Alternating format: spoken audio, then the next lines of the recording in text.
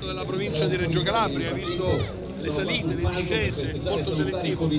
Sinceramente non le ho viste, penso che siano impegnative, il tempo è anche brutto quindi sarà ancora più difficile. Vediamo, vediamo come si metterà la corsa. E... Niente. Prima volta che di matrice continental, facciamo un passo avanti ragazzi.